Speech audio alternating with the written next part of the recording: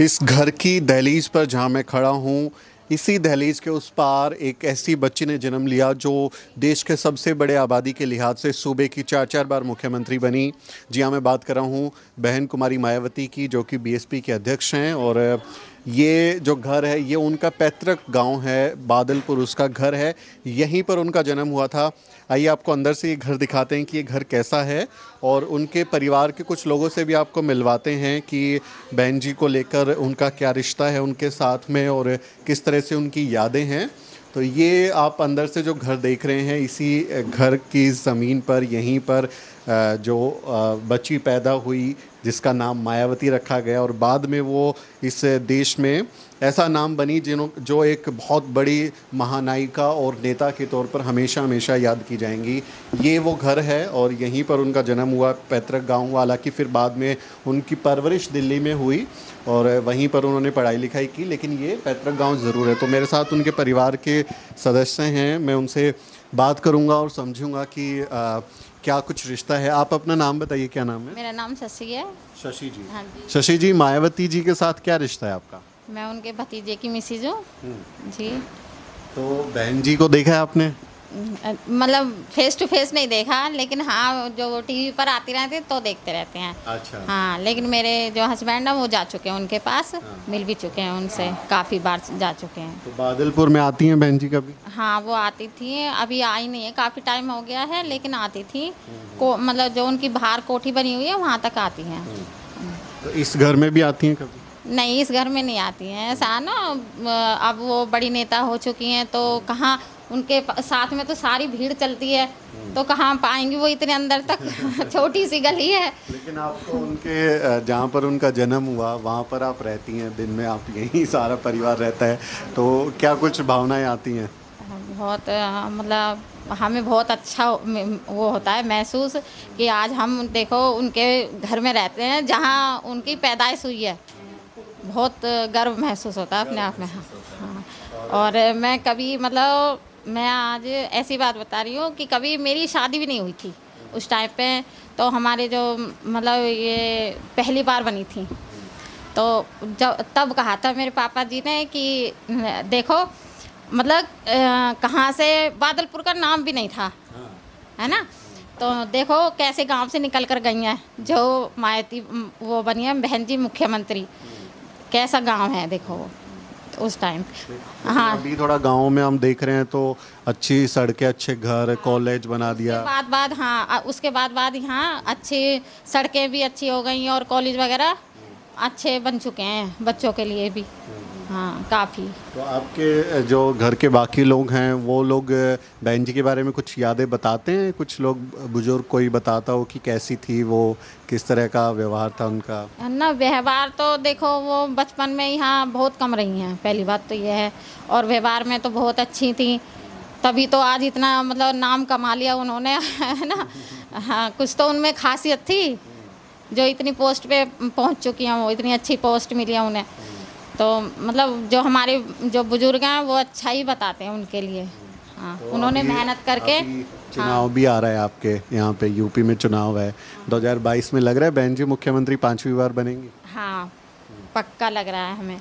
और हमारी तो हमेशा से यही वो रहती है कि उन्हीं के लिए वोट करते हैं हम तो जब वो हमारी सब कुछ है तो जब हमारी आइडियल है तो हम तो उन्हीं के लिए हैं जो कुछ भी गाँव के जो लोग हैं वो बहन जी को लेके कैसा रवैया रहता है उनका? देखो गाँव हर जगह कुछ लोग तो होते ही हैं जो कुछ तो उनकी वो करेंगे है ना? और कुछ उनकी वो निकालेंगे कमियाँ कि ये कर दिया वो कर दिया ये नहीं किया ये नहीं किया तो तो ये तो हर उसमें होता है।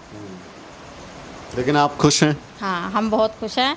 और ऐसा मतलब आ, कोई ना कोई हमें आ, आते ही रहते हैं चैनल वाले तो, तो आपको तो लोग आके बार बार सवाल पूछते हाँ। हमें इतना मतलब इतना गर्व होता है कि आज हम उस घर में बैठे हैं जहाँ मतलब हमारी जो बुआ हैं मायती जी वो पैदा हुई थी। इस बात का हमें बहुत गर्व होता है। तो आपके घर में यहाँ कौन कौन है कौन कौन रहता है? यहाँ मैं मेरे हस्बैंड हैं और तीन बच्चे हैं हमारे। अच्छा। हाँ। बच्चे बड़े हैं कि छोटे? बड़े ही हैं। मेरी बड़ी बेटी है और दो छोटे छोटे बच्चे बेटे हैं। और आ, कभी अगर बहन जी से मुलाकात हो आपकी तो उन्हें बोलेंगे कि आइए उस घर में आमंत्रण देंगे उनको? हाँ वेलकम ज़रूर करेंगे। हाँ ऐसा तो वेलकम तो बहुत अच्छा करेंगे। अगर by chance face to face हो, उनके मुलाकात हुई तो हम तो अब भी कहेंगे हाँ जैसे इस घर में से मतलब वो जा चुकी हैं तो एक एक आध बार तो ऐसा होना चाहिए कि हाँ भाई, आना आना चाहिए उन्हें। है ना? तो आपके परिवार की एक महिला इतनी बड़ी नेता बन गई चार चार बार मुख्यमंत्री बनी और उनका जो नाम है वो देश दुनिया में सब लोग जानते हैं।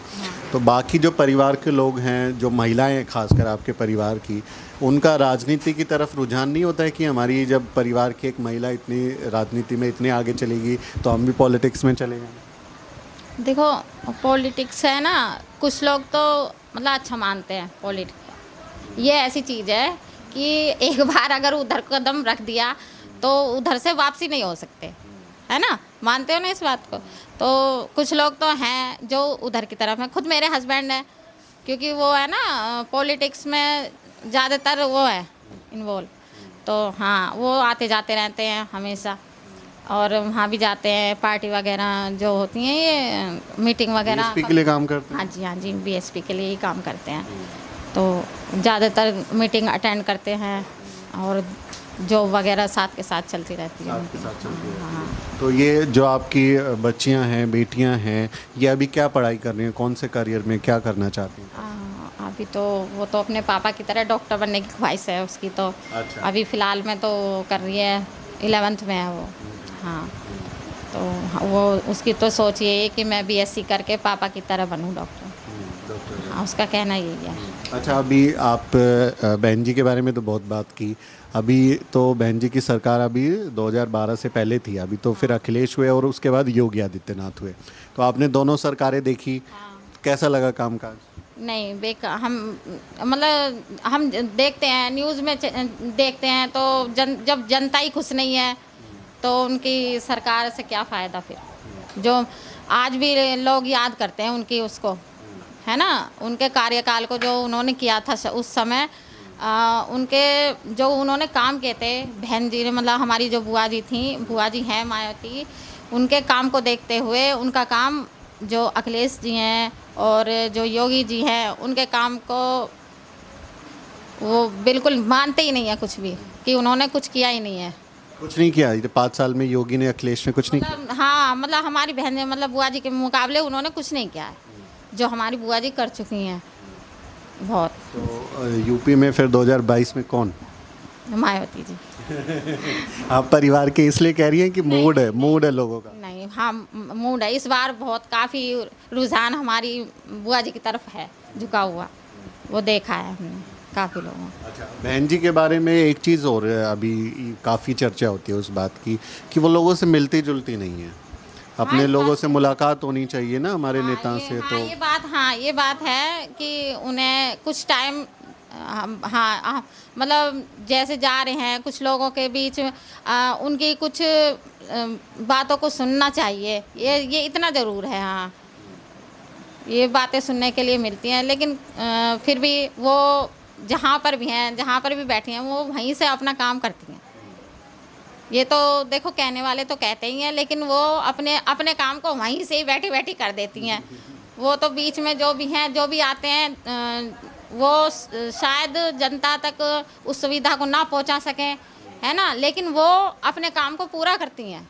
जो बीच के लोग हैं, वो जनता तक नहीं पहुँचा पाते हैं जो वो ऑर्डर देती हैं, लेकिन वो तो अपना काम पूरी मेहनत और ईमानदारी से करती हैं। लेकिन दस साल हो गए, सरकार नहीं बना पाई। कहाँ कमी रह गई? कमी उनमें नहीं है मतलब जो उनके जो बैठे हुए हैं ना बीच में कमी उनकी है। हम उन्हीं की कमी बोलेंगे। वो अपना काम पूरी मेहनत और ईमानदारी से करती हैं। तो वो मेहनत अभी रंग लाएगी? हाँ मेहनत रंग लाएगी। इस बार पक्का मेहनत रंग लाएगी। क्योंकि अब है ना जनता भी जान चुकी है कि भाई ये किसकी कमी है? ये हमारी बुआ जी की कमी नहीं है। ये जो बीच में है उनकी कमी है। सारी सारी कमी उन्हीं की होती है उन्हीं लोगों की। वो जनता तक उस बात को पहुँचाने में असमर्थ होते हैं पूरी तरह नहीं पहुँचा पाते हैं। अच्छा ये घर जहाँ बने बैठे हुए हैं ये उस समय ऐसा ही था या फिर तोड़ के बनाया? है? नहीं दोबारा फिनिशिंग करी है हमने इसकी। अच्छा। हाँ। पहले पहले कैसा था ये? सिंपल था बिल्कुल। तो ये फिनिशिंग वगैरह करी है हमने इसकी। रिपेयरिंग दोबारा से की है। दोबारा से काफ़ी करिए टाइम हो चुका है हमें यहाँ।